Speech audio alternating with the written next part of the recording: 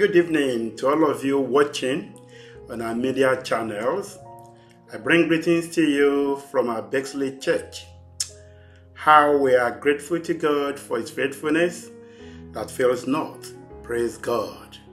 With the ongoing uncertain situations occurring around us, especially at this time here in the UK, it is my prayer that God will encourage every one of us and keep our faith strong and strong in Him. Just as we are rejoicing at the incremental easement of lockdown restrictions, resulting in the opportunity to start returning to church again, the news of various local lockdowns, including cities like Leicester, Aberdeen, and Manchester, started to surface.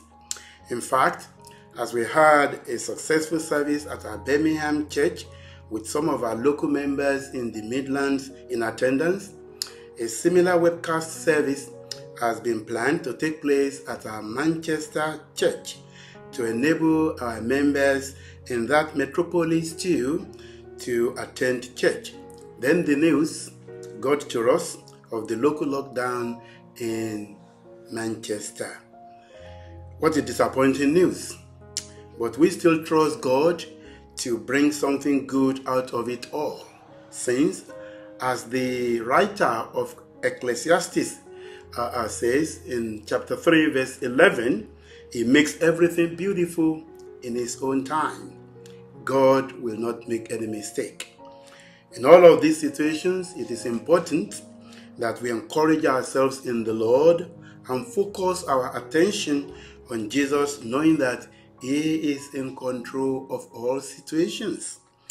If you have not read yet the most recent article from our Portland headquarters on four reasons to be of good cheer by Sister Linda Spinas, I want to encourage you to do so.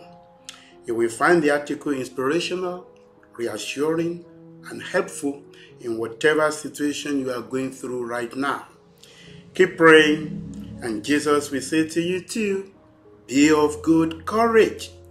Be not afraid. Matthew 14 27. I am with you always. Matthew 28 20. Be of good cheer. I have overcome the world. Hallelujah. Because he overcame, so shall we by his grace in Jesus' name. Let us pray. O Lord, our Heavenly Father, we thank you. We bless your name.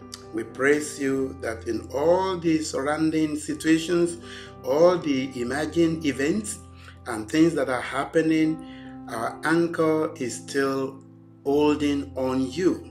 Thank you, Jesus, for the assurance that you are with us, for the assurance that you are by our side, for the assurance that you will see us through this turbulent time.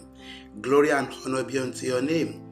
We pray, Lord Jesus, for anyone who may be going through any situation right now that the enemy may be saying is too much or is just um, uh, not something that you can do anything about, that you will send a word of encouragement to be of good cheer, that they should not be afraid, that they should have faith in you, that you are still in control. Do this for everyone, oh Lord. Thank you for everything, for we pray in Jesus' mighty name. Amen. Thank you again for watching. God bless you and bye for now.